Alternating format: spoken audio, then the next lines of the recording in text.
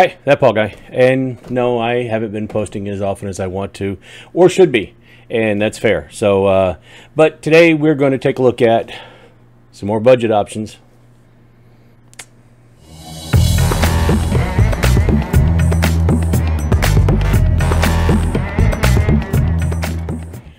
I, I, say budget options, but in actuality, we're talking about like 150 bucks or less.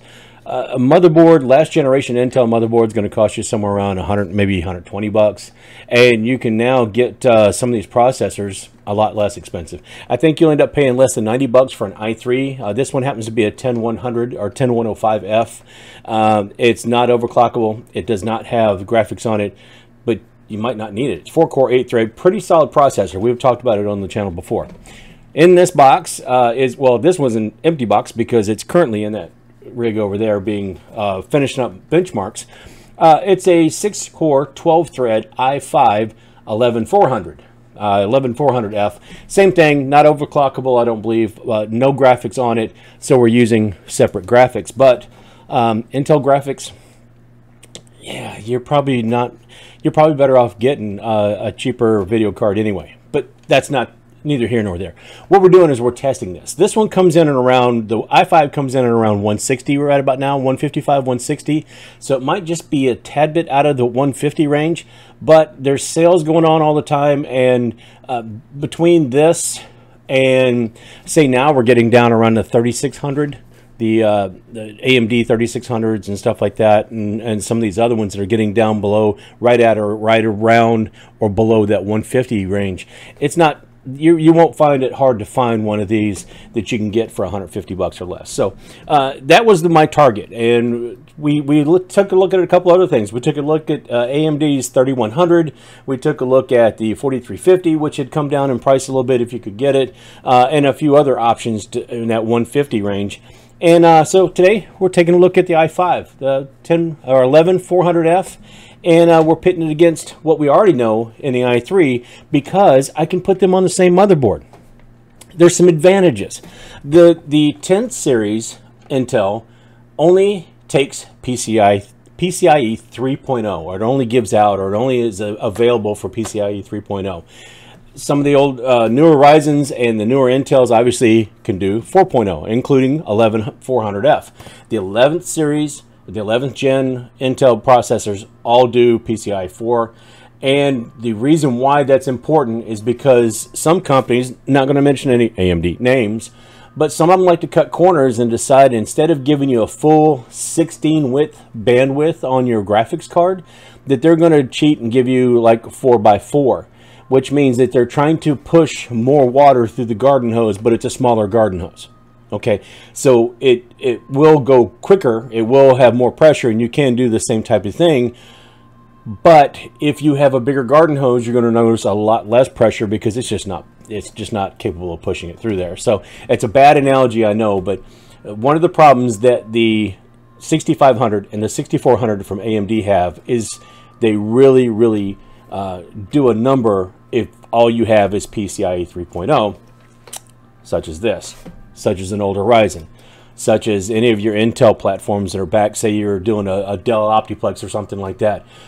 There is a use case uh, that 6400, and we're going to do a video on that too, uh, comparing it PCI 3 and 4.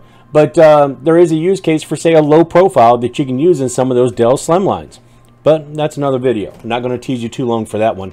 Right now, we're concentrating the i3 and the i5 and we're going to kind of stack those up and see how they do. Now to test these puppies, I went ahead and used uh, what would you could you could arguably call a mid-range graphics card, but it's more than enough to let these these CPUs kind of run off and, and uh, run on their own and, and be able to tell a little bit better from one to the other. Uh, I also used the stock cooler. The stock cooler in both of these is identical or near enough identical. Uh, they look the same to me. Um, so I went ahead and I kept and I used the same CPU cooler. That does make a difference. And I'm going to tell you why. Uh, you know what? I'm going to tell you why now, and we'll kind of talk about it again. But this 11400F, it did not like that regular CPU cooler. Now, the, the 10th gen, not a problem at all. Kept nice and cool. It's a little bit lower wattage.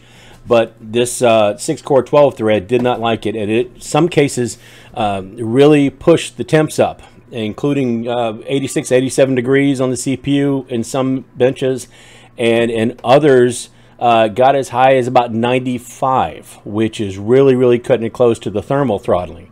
And uh, didn't care for that too much at all. So if you are buying one of these and you do plan to, I mean, game on it or anything, don't use the stock cooler. I mean, I know they say a lot of people say it's good enough and it won't, it doesn't quite hit the thermal throttle, but I'm telling you, spend an extra 25 or 30 bucks and get you another CPU cooler if you're going with the i5 or higher in an 11 gen. I'm just saying. So as we go through these benchmarks here, it's going to be pretty predictable. And in most cases, it's going to be anywhere from, you know, maybe 5 to 15% better for the 6-core 12-thread than the 4-core from the last generation, 4-core 8-thread from the last generation. Shadow of the Tomb Raider, 124 versus 137. I mean, that's about what you'd expect. Uh, a similar type of performance in Borderlands 3. Uh, Far Cry 5 saw very much the same thing. Far Cry 6, I'm also going to be doing soon. I'm going to be adding that in. I'm doing those benchmarks, but I haven't completed them yet, so I don't have complete charts, but they'll they'll be coming soon. I'll probably replace Far Cry 6. Uh, I'll replace Far Cry 5 with it. Uh, I am also going to be trying to add Cyberpunk. Cyberpunk was one that really, really uh, took the temps way up. This had no problem hitting 94, 95 degrees uh, in the benchmarks for Cyberpunk. But like I said, I don't have full info for the 10105F, so I have to go back and, and also add some other stuff. Forza Horizon 4, very much the same type of story. I think it was like 168 to 184 for the for the 1080 high. All these are 1080, by the way. Uh, I'm also going to be adding Forza Horizon 5 to the mix, although I don't, again, don't have complete testing on that, but I will have soon. Uh, World War Z and Horizon Zero Dawn, I did something else because as I was looking back through these, I was noticing that these, for the 10 1, uh, I'm sorry, for the 11400F, a lot of these were coming close, if not rivaling the previous generation or the previous, I guess, Zen 2, the 3700X from AMD which is an 8-core 16 thread. We kind of compared before the AMD where you would have the 4-core 8-thread, a newer one, versus a little bit older 6-core uh, 12-thread. But now we're starting to see that CPUs from Intel, uh, even though they're a generation or two newer, are rivaling just the, the previous generation's uh, Ryzen CPUs as well. So um, it's actually making those, uh, when you get where you're looking at a CPU that's 150 bucks, that 3700 you can still the 3700X you can probably still find for about I don't know 300 bucks or so. And uh, 250 or 300 dollars and the it's coming pretty pretty close on some of these. Like World War Z you can see it right here. And then again we're going to go ahead and do Horizon Zero Dawn and see that the that it's getting really really dangerously close in that territory. So what I might do is I might do a full comparison with the 10 uh, the 11400F and the 3700X the AMD Ryzen 7 3700X. I might do that comparison and see just how close those are. Obviously, the 3700X is not a budget CP, a CPU. The 11400 borderline is. So you could be saving quite a bit of money and get similar performance. Now this is gaming type performance. This isn't going to be productivity. Anytime you're dealing with a lot of like video editing or you know some kind of uh, hand, manhandling large files or large objects, uh, you you're going to need or more cores will do you better than you know fewer cores. So the 816 is going to do you better than the 612. But in gaming, I mean, they're they're pretty darn close here. So. Um, yeah, I, am going to have to do that comparison pretty soon. So to kind of wrap up and kind of reiterate what I was talking about, this this CPU is solid. I like it. The one thing I do not like is the fact that Intel says, oh yeah, you can use the CPU cooler that's in here. Now, first of all, we all kind of knew that was BS. Even though the coolers are getting better, it's still BS. You need to get a decent CPU cooler, even for an 11400F uh, or 11400 or something. Even the mid-range Intel CPUs, you're going to need a, a, separate cooler for. Uh, the AMD coolers, I don't have a problem with that. I can run you know that 3700X on its stock cooler all day long, and I don't have any issues with it. It might get up in the mid 70s um, on that cooler or with the I got an AIO that doesn't get above the mid 60s so very very happy with that very easy but the stock cooler that comes with the Intel yeah yeah confirmed trash so the next step up for Intel, we're going to be testing the 12100. Uh, probably, I don't know, if I can get a hold of a 12100F or stock or K, I don't care which one it is. That's basically the budget this time around. We're going to be testing with DDR4 memory because I already have DDR4. I don't want to try to lay my hands on DDR5 even though I know that I will eventually use it. Uh, let me work on my budget a little bit and figure things out that way. But we will be testing that. And I also want to go back and since I'm looking at this 11400 and I'm testing the 11400 with against the 3700X, maybe I can do the same thing with that 12100 and see just how far a couple generations have come. Now, I will also be looking at what is basically the Ryzen 5 5500. Um, now, for those that might not know, that 5500 is the same processor as the 5600G, but they've taken the graphics off of it. So instead of just calling it a base 5600, they cannot do that because it has a different amount of cache on it. So the 5500 is the same as the 5600G. It's a PCI 3.0. It's built on Zen 2, I believe it is, or Zen, is it Zen Plus?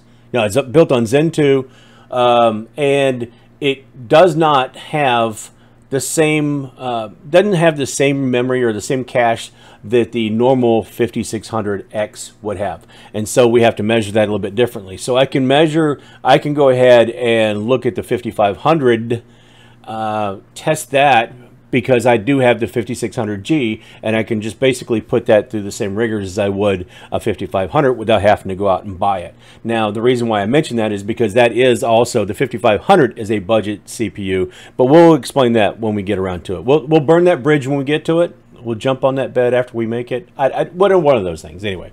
But anyway, kind of wrapping up here. I know I'm starting to, uh, to just kind of ramble on and I don't want to do that. The uh, i3, the 10105F, basically 10100 or 10105. Uh, very, very good CPU. Very, very budget for under 100 bucks. Great deal.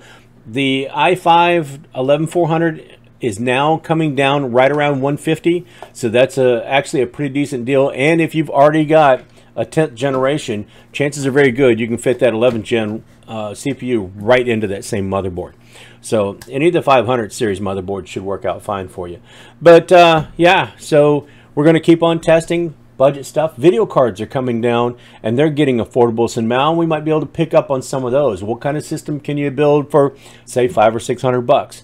That might be in our future too. So couple things coming up. Obviously, it's been a while. I'm trying to catch back up, doing a boatload of benchmarking, and just trying my darndest to, to catch back up and get things, get back into the groove of this, folks. So that's what we're going to do. Uh, that is all I have for the right now. Uh, I will hit you up and, and ask you please subscribe, please like the video, all that good stuff.